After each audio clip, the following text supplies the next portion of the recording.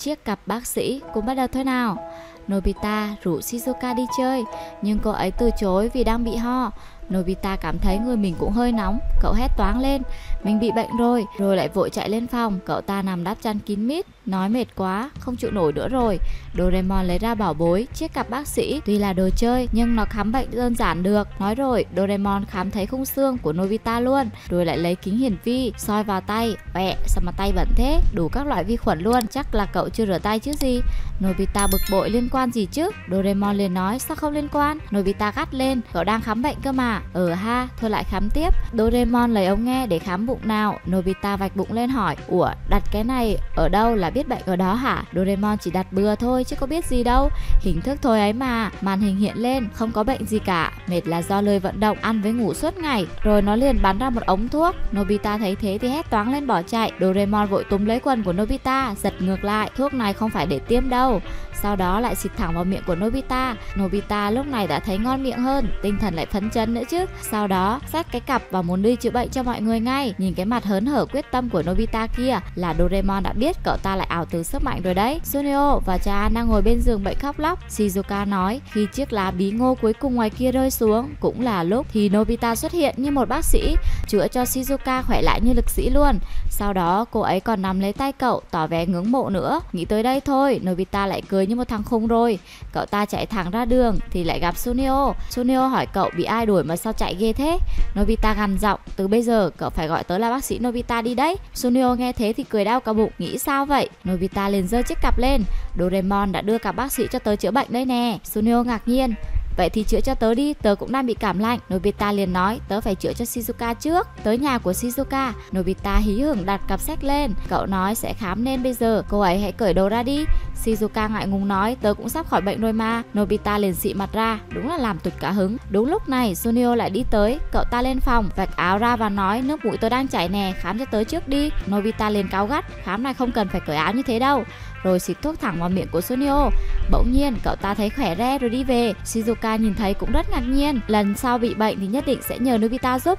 Cậu ta liền hí hửng. Thế à? Thế thì cậu bị bệnh nhanh lên đi để tớ chữa cho luôn này. Shizuka liền rủ Nobita bây giờ hãy đi chơi game. Lúc này cha An cũng mò tới, cậu ta bị đau bụng nên muốn Nobita phải chữa cho mình. Nobita sợ hết thuốc mất nên đã từ chối. Cậu ta liền xách cổ Nobita lên và đe dọa. Sau đó còn xô Nobita ngã xuống dưới đất rồi bắt đầu cởi quần áo. Này khám đi, Nobita. Nobita hết hồn. Khám cái này không cần phải cởi đồ như vậy đâu. Cha An liền kéo quần lên, Không chịu nói sớm. May báo cha An đau bụng Vì ăn nhiều khoai lang nướng quá thôi. Nobita liền lấy thuốc xịt thẳng vào mặt của cha An.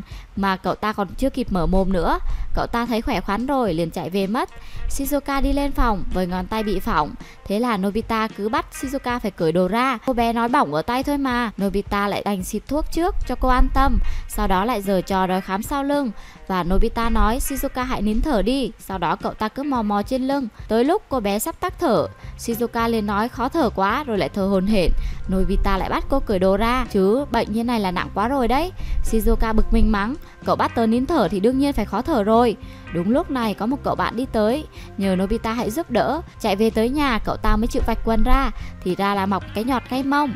Nobita chán nản đi về thì lại gặp một cô bé bị sâu răng nữa. Cuối cùng muốn khám cho Shizuka mà lại chẳng được, mà hết đứa này tới đứa khác tới nhờ giúp. Nobita muốn chạy cũng không thoát khỏi cái đoàn người kia. Thế là về đến nhà thì đã hết thuốc mất tiêu rồi. Đúng lúc Shizuka lại tới, nhờ cậu chữa cảm lạnh vì cô lại bị tái phát rồi. Nobita nói muộn mất rồi. Shizuka hoảng sợ, xin hãy giúp tớ cứu chữa kịp thời đi. Nobita đỏ mặt liền dụ cô lên phòng.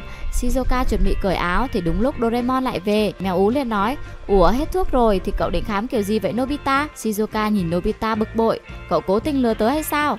Nobita cứng họng không biết phải giải thích như thế nào nữa. Cậu liền ăn ngay một cái tát của Shizuka giữa mặt. Đúng là xui tận mạng mà.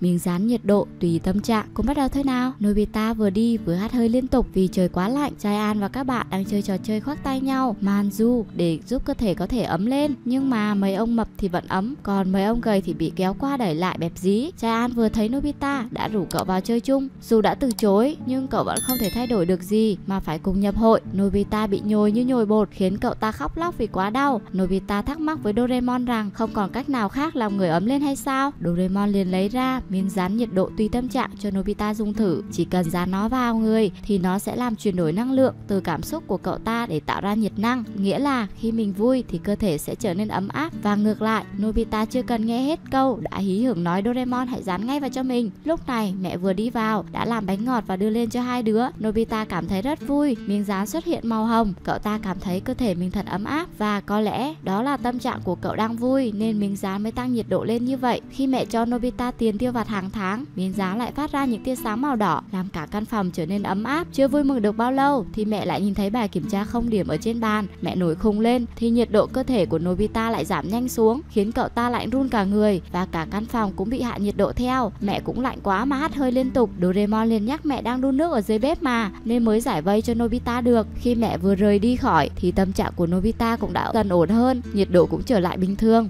Doraemon nhắc nhở Nobita, cậu phải giữ cho tâm trạng ổn định. Nhưng Nobita cũng không làm được, nên đã muốn cởi miếng dán ra ngay. Nhưng khi dán vào thì phải một ngày mới lấy ra được. Nobita lúc này lại trở nên bất ổn hơn. Doraemon nhắc cậu, hãy nghĩ tới những điều gì đó vui vẻ hơn đi. Nobita nghĩ mình có thể mua thêm chuyện mới, vui vẻ hơn rồi. Nhưng nghĩ tới cảnh sẽ bị trai An cướp mất thì lại sợ hãi. Lúc này cơ thể thì lại lạnh quá mức. Cuối cùng, Nobita cũng nhớ ra, hôm nay mình có hẹn với Shizuka, làm chung bài tập về nhà với nhau. Thế là miếng dán đã trở về màu hồng ấm áp. Nobita lúc này rất vui vẻ mà đi ra đường, ăn mặc phong phanh mà cậu vẫn cảm thấy bình thường, khiến bao nhiêu người đi đường cứ nhìn cậu mãi. Bọn trai An cũng đang chơi bóng chày, thấy Nobita, trai An liền rủ Nobita hãy vào chơi luôn. Nobita vui vẻ nhận lời, Suneo liền thắc mắc cậu không thấy lạnh hay sao? Trai An ném quả bóng vào Nobita chụp, nhìn thì dễ như vậy, nhưng mà Nobita lại chụp không được mới hay chứ. Trai An bực mình, đập cho Nobita một cú lú sưng. Tâm trạng của Nobita đã trở thành màu xanh sợ hãi, nó khiến cậu ta lạnh run người, không khí bên ngoài cũng trở nên lạnh lẽo hơn. Doraemon liền nhắc Sunio, cảm xúc của Nobita không tốt sẽ làm cho nhiệt độ xung quanh giảm theo đấy. Lần này Nobita lại chụp bóng không thành công rồi. Giant chuẩn bị đánh thì Sunio đã bịt miệng cậu ta lại, khen cú chụp bóng trượt của Nobita thật là đẹp. Các bạn cũng đồng thanh vỗ tay như vậy, khiến tâm trạng của Nobita trở nên vui vẻ hơn, nhiệt độ cũng trở nên dần ấm áp. Cứ như vậy, suốt trận bóng, mặc dù Nobita chơi dở ẹc nhưng mọi người vẫn khen ngợi hết lời. Giant cũng ngây người ra không hiểu vì sao mọi người lại phải khen Nobita chơi lỗi giỏi như vậy chứ. Nhờ sự khen ngợi đó, miếng dán trái tim đã trở thành màu đỏ và bầu trời đã hưởng nắng ấm áp, mọi người cũng rất vui vẻ tiếp tục tăng bốc Nobita. Nhưng cha đã chịu đựng quá đủ rồi, không thể nhịn được nữa. Doraemon lúc này cũng nhanh chóng kéo Nobita rời khỏi trò chơi. Nhưng khi vừa tới nhà của Shizuka, hình như cô ấy đã đi ra ngoài rồi. Nobita cảm thấy rất buồn vì Shizuka đã quên lời hứa với cậu. Doraemon liền an ủi, Shizuka không thể là người như thế được đâu, để Nobita trở lại bình thường. Nhưng chưa được bao lâu, vô tình bắt gặp cảnh Shizuka và Dekisugi đang nói chuyện với nhau rất vui vẻ. Nobita như bị đóng băng toàn thân, sự thất vọng ê chề trong người cậu lúc này. Shizuka đi lại thấy Nobita thắc mắc cậu bị làm sao vậy. Nobita trách móc thì Shizuka vui vẻ nói chỉ là hiểu lầm thôi. Cô chỉ đi mượn quyển sách này để giúp Nobita học tốt hơn. Khi nghe được điều này khiến Nobita tan hết băng giá, trở nên ấm áp hơn nhiều. Shizuka cũng thật là tâm lý, đã chuẩn bị thêm bánh và nước ép cho hai bạn. Nobita cảm thấy thật hạnh phúc, người cậu tỏa ra hơi ấm khiến muôn hoa đua sắc thi nhau nở, những chú bướm cũng bay lượn, thời tiết trở nên ấm áp như mùa xuân. Doraemon lúc này cũng cười tủm tỉm, đúng là khi con tim đã vui trở lại thì mùa đông tàn cũng sẽ hóa mùa xuân mà thôi. Nobita muốn mượn vở bài tập của Shizuka để chép cho nhanh, khỏi cần phải suy nghĩ gì nhiều. Nhưng Shizuka lại không đồng ý với Nobita vì như vậy sẽ không giúp cậu tiến bộ hơn được đâu. Shizuka cũng có chút nặng lời vì cậu không chịu học hành tử tế đã làm cho tâm trạng của Nobita trở nên tệ hơn. Thời tiết lại trở về như ban đầu. Nobita đi về, nghĩ Shizuka đã chán ghét cậu rồi nên mới nói những lời như thế. Tâm trạng của cậu siêu xuống khiến cậu ta cũng đóng băng luôn. Doraemon tá hỏa khiêng Nobita về nhà để ngâm nước ấm vì nhiệt độ cơ thể của Nobita giảm nhanh chóng đã khiến cho miếng dán bong ra. Nobita phải rèn luyện nhiều hơn để trái tim trở nên sắt đá. Nobita nghĩ Doraemon đã có trái tim sắt đá rồi thì hãy thử miếng dán này xem. Doraemon vừa dán vào người, nghĩ tới món bánh Dorazaki khiến cậu vui vẻ và hạnh phúc biết bao. Nhưng đột nhiên không biết con chuột ở đâu xuất hiện đứng dưới chân cậu khiến Doraemon sợ hãi hết âm lên. Nhiệt độ phòng giảm nhanh xuống khiến cậu lập tức bị đóng băng. Nobita lúc này cũng không tránh khỏi. Ngoài trời thời tiết cũng trở lên lạnh giá như có gió bão kéo tới vậy. Vậy là không ai có thể chế ngự nỗi sợ hãi trong bản thân mình rồi